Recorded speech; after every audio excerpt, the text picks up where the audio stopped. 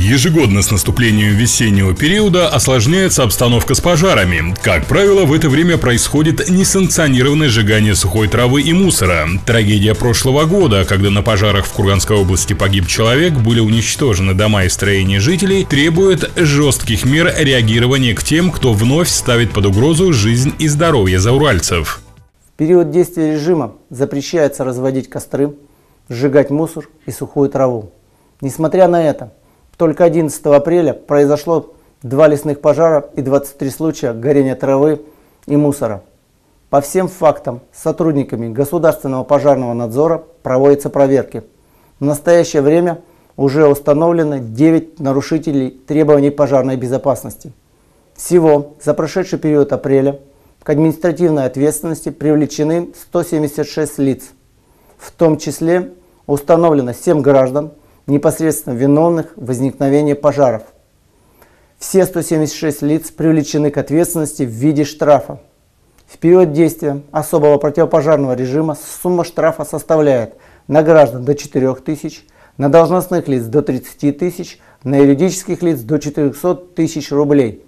Обращаю внимание, что при наступлении тяжких последствий предусмотрена уголовная ответственность, а также в случае нанесения ущерба третьим лицам в рамках Гражданского кодекса предусмотрено возмещение ущерба.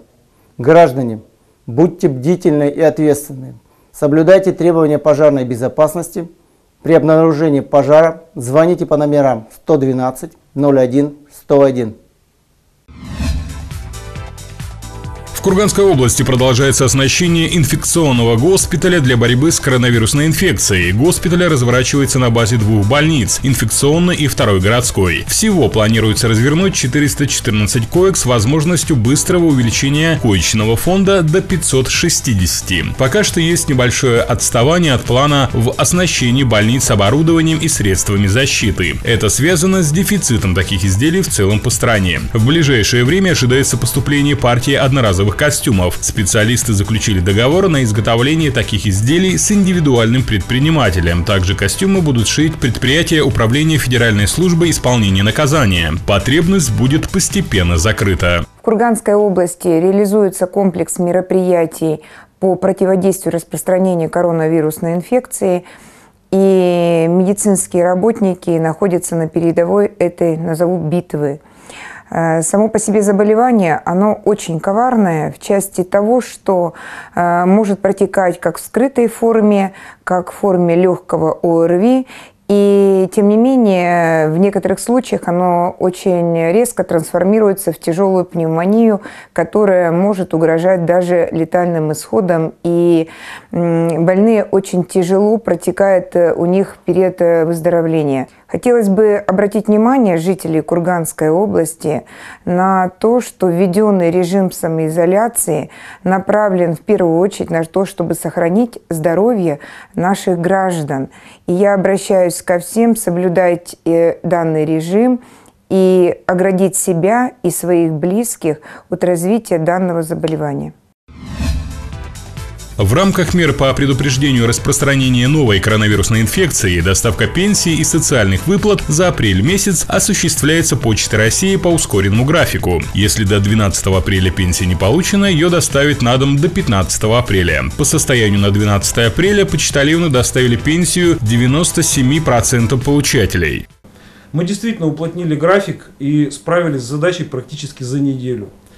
Э, при этом э, подразумевалось то, что у нас по постановлению всех органов власти все пенсионеры, то есть возраст 65 плюс, должен находиться дома. Соответственно, почтальоны ходили по домам, ну, не предупреждая никого заранее. А, тем, кому мы не доставили пенсию, мы в любом случае доставим ее на дом, поэтому убедительная просьба в отделение не приходить.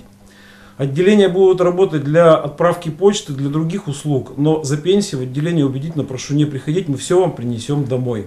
Управляющий отделением Пенсионного фонда по Курганской области также посоветовал зауральцам, кто еще не получил выплаты, просто немножко подождать. Если возникают вопросы по пенсиям, то можно позвонить по телефонам горячей линии Пенсионного фонда России 440273, код города Кургана 3522 или в колл-центр по городу Кургану 460276. Кроме того, отделение Пенсионного фонда по Курганской области производит в настоящий момент выплату и посвященную 75-летию Победы в Великой Отечественной войне, согласно соответствии с указом президента Российской Федерации. Вся эта работа также будет произведена в апреле месяце.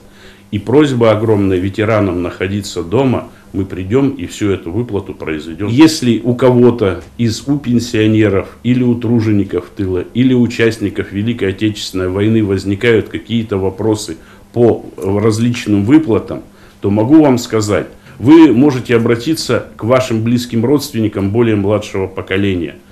Все, э, вся информация о деятельности пенсионного фонда, о сроках выплаты, о телефонах, находится на сайте отделения пенсионного фонда по Курганской области. Всегда это можно сделать.